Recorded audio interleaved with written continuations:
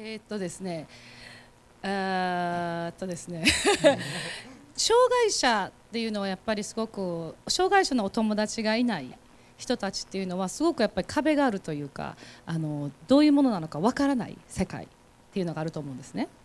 有很多人可能呢身边没有呃有障碍的朋友，所以可能很多人都觉得说跟障碍者的世界好像有一个隔阂，没有办法了解他们的心情。で私自身障害者っていう言葉を使うのがすごく嫌なんですけれども、うん、あごめん。导演其实很不喜欢使用“障碍者”这个词，这样子。对 あの私自身はこの今回のこの作品に関してはあの脳性麻痺の女性を描くんではなくてある一人の女性若い20代の女の子がどうやって自立していくかどうやってあの母から離れてこう自分の世界を作り出していくかっていう映画を作るっていうところにまずフォーカスを置きました。所以他其实这一次拍片的重点呢，并不是说他要拍一个脑性麻痹的女性，他其实把她当成一个一般的女性，就是这个一般的女孩子呢，她要如何呃慢慢。自立的一个过程，慢慢独立的一个过程，她要如何离开她妈妈的照顾，成为一个独立的女性？她主要是 focus 在这个方面。であのやっぱり障害者っていうその、ね、タイトルがついてのあの脳性麻痺だったり、まあ、障害を持たれている主人公の女の子 が主人公が障害者になっちゃうと結構やっぱり暗い映画というかこう悲しい映画がたくさんある中であのやっぱりそのフォーカスが女性になったっていうこと。でやっぱり彼女自身が、まあ、体のあのプロブレもあるけれども問題もあるけれどその中でこう進んでいく毎日見つける何かっていうところにやっぱり出会っていく新しいね、出会いがある中でたくさんの人がいると思うんですよねでだから面白い人もいるしあの変わった人もいるしで東京って日本って変わった人がたくさんいるので あのそれをフォーカスに一回はい当ててみました。呃，导演说，如果你把这个呃主题呢，就是 focus 在障碍这件事情上面的话，那很容易就会像主持人提到说，有很多这种比较黑暗呐、比较这个感觉比较悲伤的电影会出现这样子。但是，所以他这次把重点放在一个女孩身上，她当然身体上面也是有一些问题，不过呢，她主要就是放在这个女孩呢，她成长的过程中，她每一天都要呃迎接新的一天嘛，于是她就会认识各种不同的人。那里面有很有趣的人呐、有很奇怪的人，尤其是东京呢这个城市里面有非常多怪人，所以呢，他就描述了这么多奇怪的人的一个电影这样子。えー、と彼女今回初めての映画になるんですけれども私と同様初めて長編、まあ、彼女本当に何も今まで演技をしたことがない子だったんですけどあのオーディション で一般のオーディションをしたんですけれども、えー、とまず本当に1000こ1000か1000グループぐらいの1000グループ。100え、セングループの意味は何ですか？1000 1000あの1000グループ。1000そうそうそう。あのあフェイスフェイスブックとかあはいはいはい。あのフェイスブックソーシャルメディアとかのグループであったりとかはいはいはい。えっとオーガニゼーション組織あの障害者の人たちがうんはい。扱ってるあのそのスポーツの団体であったりとかっていうところ大体ね4人で1000社ぐらい当たりましたね。社嗯，であどうぞ先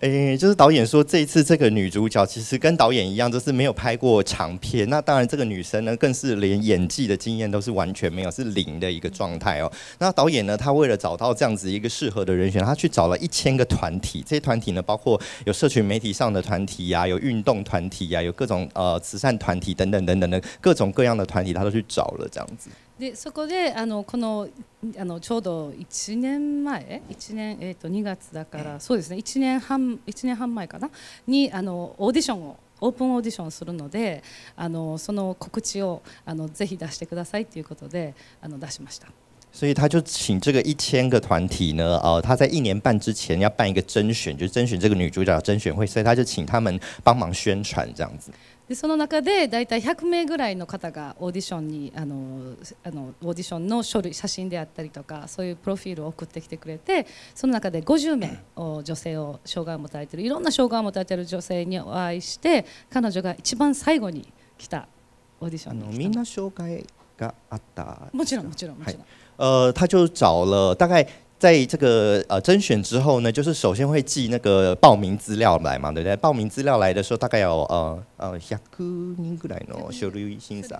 呃有一百个左右的这个报名资料寄来，然后最后筛选到剩下五十个。其实这五十个女生呢，都是有各自的这个身体上的障碍，然后这个这位是最后一个寄来的人。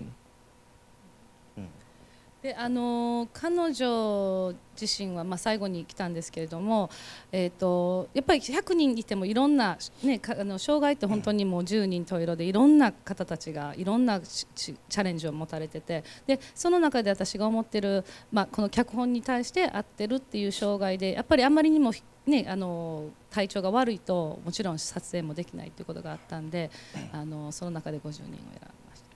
那呃，当然每一种障碍都是有不同的状况嘛，所以老导演用了这个“十人十色”是日本里的一个那个成语哦，就是说每个人都有不一样的状况，一样名一样白样人的意思。呃，那所以说有各种不同的障碍，然后导演要选一个就是比较符合这个呃剧本里面的描述的。那另外呢，也是要他自己本身的身体状况不能够太差，不然的话也没有办法去演出，因为演戏还是要耗体力的。Good question. 好問題。あのですね、あの私自身お父さんいないんですね。で私のお母さんはそれをずっと私に嘘をついてた人だったんですよ私お父さんの存在がいるのを知らなくてお父さんは死んだって言われててで13歳になって初めてお父さんが生きていたっていうことを知ったんですよねでその時にあの親でも母でもやっぱり彼女は女性であってもちろん秘密があったりとか子供に全て教えてない。教えてるもちろんそういう人もいらっしゃると思うんですけど私の場合はそうじゃなかった。やっぱり人間として秘密っていうのはある程度ねシェアしてもないところもあったんでそれはもうそのまま私のまあ経験としかいうか、まあ、彼女も人間としてそういうリスペクトというかいろいろ考えがあって今があるっていうことにあの決断を下したと思ったのであのそこはあのお客さんの観客の方々の想像に任せようと思って。呃，导演说他自己也是呃没有父亲，就是呃他是单亲家庭，只有妈妈的一个家庭这样子。那呃他其实妈妈一直都骗他说他爸爸早就死掉了，然后他一直到十三岁的时候才发现说，哎，他爸爸根本就还活着这样子。然后他就发现说，哎，其实呃大家都觉得妈妈。 妈妈这个角色，你就会把她定义成妈妈，你会忘了她也是一个女人，她也是一个人类这样子，所以她当然也会有秘密，也会有一项不，也会有一些不想讲的事情这样子。她成长到这个年纪呢，她也经历过很多，所以她最后做了这样子的决定，导演也觉得说他会尊重她这样子。所以呢，这部电影里面呢，他没有把这个爸爸妈妈分手的原因讲出来，那就是希望各位观众自己去评断，自己去想象这样子。えっとはい、じゃあまず漫画の一つ目の question、はい、first question えっ、ー、とですね、えっ、ー、と私自身この脚本を書くのに大体インタビューから始めて大体5年かけたんですね。いや4年かな？作品、うん、そうですね。45年いろんな人にインタビューをしていってその中で漫画家っていう人がに出会いでその中で漫画家の人たちってプロになるためにお金を集めないとダメお金をね仕事をしないとダメだから結構たくさんの人がアダルト漫画を描くんですよね。その中でアダルト漫画を描かれる中であのその中の大体まあね、5%10% ぐらいの人たちがあの童貞だったり処女だったりセックスをしてない人が想像で書いてるっていうことをインタビューで知ったんですよね。那导演他其实为了做这个计划，他其实已经 interview 就是访问了好好多人，大概访问了五年四年，访问了非常多的人。那其中呢也访问到漫画家，然后呢。他在访问漫画家的这个填调的过程中，他发现说有很多的漫画，他漫画家他在呃从漫画助手到要真正连载的过程中，他其实是需要一些资金这样子。然后在需要钱的过程中呢，呃，他们很多人都会去画成人漫画。那但是在画成人漫画的这些人当中呢，有五 percent 到十 percent，就是大概百分之五到十的人呢，其实是完全没有性经验，是呃处男或处女这样子。那所以说就是有了这样子的一个发想。で私自身その、まあ、私も絵を描いたり漫画,、まあ、漫画は描けないですけどあの、ね、脚本書いたりする時もあの、まあ、脚本書く時って本当に自分の頭である想像したものを紙に書く,、ね、書くんですけれども漫画家の人たちっていうのはかん来たアイデアをそのまま絵にしちゃう。っていうすごい私にとってはすごくなんかわあすごいそのクリエイティブなねあのなななんかすごいすごいですとにかくすごいですねそれをできるってっていうのがすごくあってそれをまず皆さんに分かっていただきたかったなっていうのがあありました。那因为导演他自己是写写剧本嘛，他觉得写剧本呢就是把自己想到的事情写在纸上，但是他觉得漫画家真的是很了不起哦，他可以把自己呃想象的东西啊或自己的经历啊直接画在纸上变成一幅画，他觉得太厉害了，一定要让大家就是传达出他的对漫画家的这个激赏给大家知道这样子。で、えっ、ー、とネットフリックス は、えー、とベルリン国際映画祭で、えー、授賞式が終わって で、まあ、普通に劇場公開でしようと思ったんですけどあの、まあ、ネットフリックスさんがあのあの世界全世界であの配信をしたいということで日本以外の日本は劇場公開をするので日本はあのとりあえずなしで世界配信はネットフリックスさんでお願いしようということになりました。はい呃，那这个 Netflix 之间的关系是在导演这部片呢，在柏林得奖之后呢，呃，就是 Netflix 来找他，因为他们其实已经谈好了日本的剧这个戏院的发行跟上映这样子，所以除了日本之外呢，就是全世界的这个线上播映是由 Netflix 来这个承担这样子。呃，其实我只是想要代表我们团体来谢谢一下那个导演。你们团体我们是守天使。啊，我们在台湾是一个大概三十个人的一个团体，然后我们呃最主要是在推推提倡残障的性权，然后就是啊有人来申请的话，就是我们会啊帮他用手达到性的愉悦。对，那我要谢谢那个导演，今天我看了很感动。那个嗯呃有我们啊。我们义工里面听到有这一部片子的时候，大家都会，大家都奔相走高，然后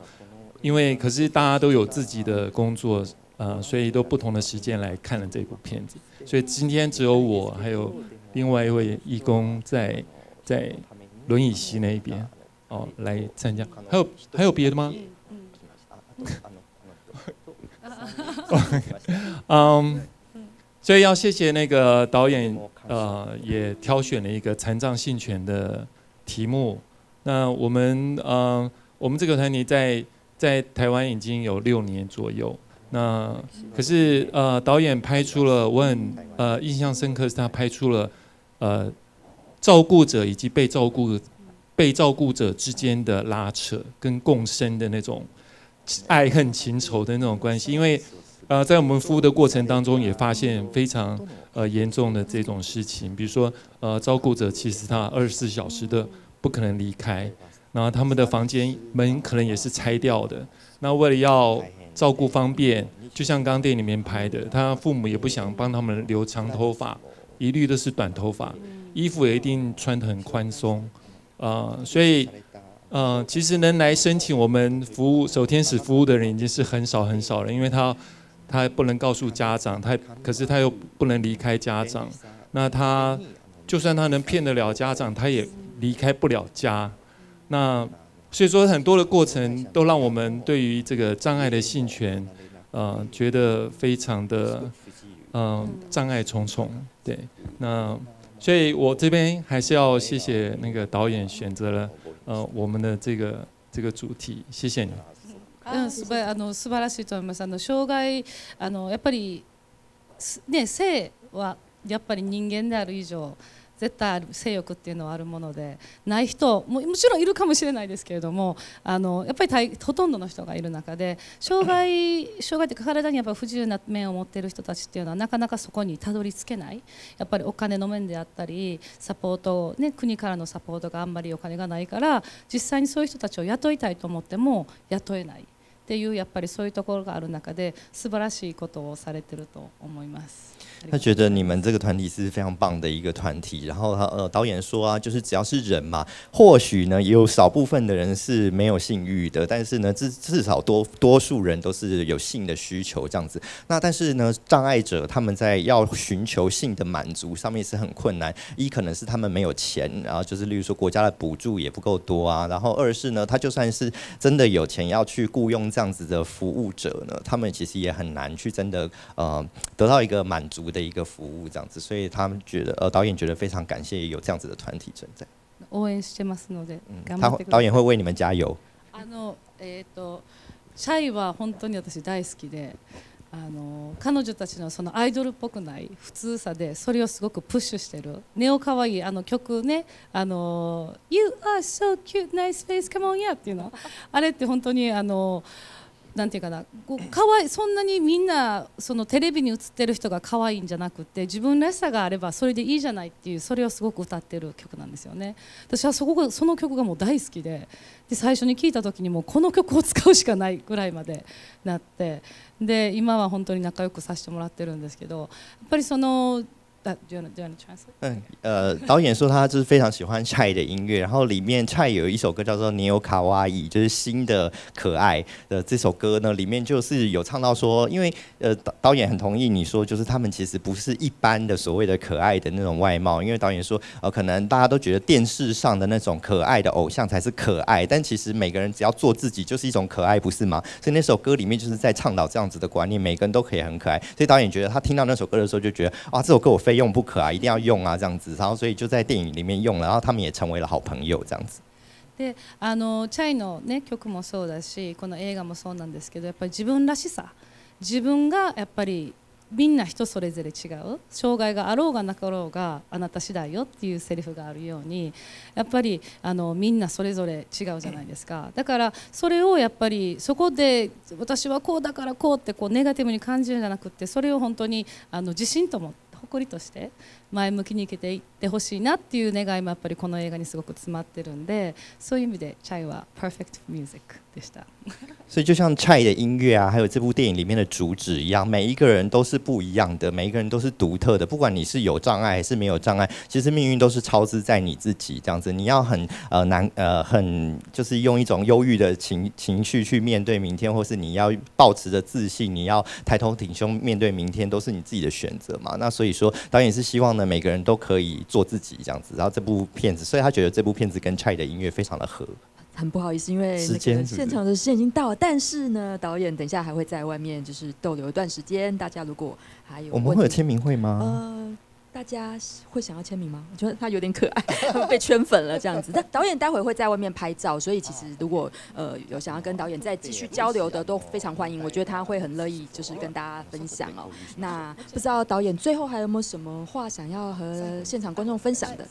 えー、と今日は本当にあの来てくれてありがとうございます。Thank you so much for being here. I'm so happy to meet you all. えー、とこの映画、まあ、個人的なあれなんですけれどもこの映画、えー、と実はすごく私の大好きなお友達と一緒にがサポートしてくれた方がいらしてその方があの実は映画の制作の最終日のサウンドミックスしてる時に亡くなっちゃったんですね。そうなんですよであそう呃，就是首先要谢谢大家来看，然后导演非常开心可以见到大家。然后这部片呢，其实有一个他非常重要的朋友一直跟他呃合作这部电影，但是那一位朋友在这个最后在这个呃混音的阶段的时候过世了。で彼がいつも言ってたのはあの僕ができることは、えーとまあ、えサポートアイデアあったりあのすることができますでもその代わり映画を作ってるあなたのような人たちは僕たちにホープあの、ね、ホープをくれるっていうことで私すごく今日映画「サイ」を来てくれてる皆さんっていうのはあの皆さんの愛が私に届いてああのそれから映画を作って映画を通してあのホープをあげたいと思ってるので Thank you so much for being here 今日来てくれてサポートしてくれてありがとうございます。那那位朋友他其实不是电影相关的剧组人员，他只是一般的朋友，只是他会一直给导演很多的支持这样子。那他常跟导演说呢，我们这些不是做电影的人啊，我们就是给你很多的爱。然后呢，你做完电影之后呢，你的电影其实给我们很多的希望这样子。所以今天呢，来到这边看到大家给导演很多的爱，那导演希望未来呢，他在拍另外的电影的时候，也可以给大家很多的希望这样子。谢谢大家。 好，谢谢导演，那也谢谢大谢谢家。